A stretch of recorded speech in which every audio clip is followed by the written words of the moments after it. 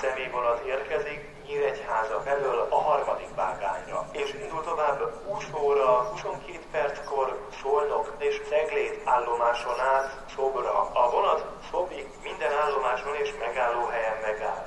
Tisztelt utasaink! A járványhelyzet miatt a vonaton történő utazás során, valamint a zárt utasforgalmi helyeken kötelező az orr és a száj eltakarása maszkkal kiszabása esetén a szabálytalanul utazót büntetés kiszabása mellett a vonat személyzet leszállítja a vonatról.